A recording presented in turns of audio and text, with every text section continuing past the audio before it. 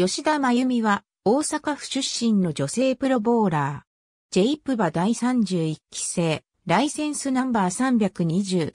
アメリカンボーリングサービス所属。1998年プロデビュー。身長150センチメートル、体重48キログラム。血液型 O 型。右投げ。京都産業大学卒業。既婚。幼稚園の頃にボーリングを始め、高校の時に二度国体に出場。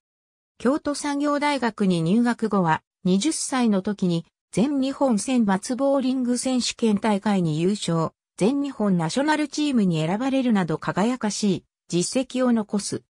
大学卒業後の1998年にプロテストを受験し、アベレージ209.39というハイアベレージで合格しプロ入り、1年目からいきなりポイントランキング10位に入り、頭角を表す。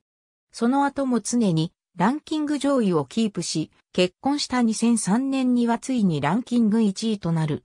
その後、2007年に出産のため戦列を離れるが、2008年の後半に復帰、後半だけでランキング13位に入り健在をアピールした。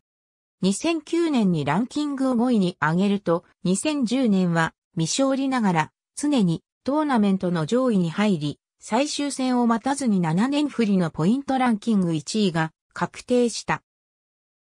BS 日テレで放送されているボーリング革命 P リーグには、ボーリングアーティストのキャッチフレーズで第一戦から参戦し、2013年現在も出場している。記念すべき第一戦のチャンピオンである。P リーグは通算5勝、第43戦から導入されたシーズン制の初代シーズン女王にも輝いている。日本プロボーリング協会による公式ニュース、ニューストピックスでは小さな巨人というキャッチフレーズがついている。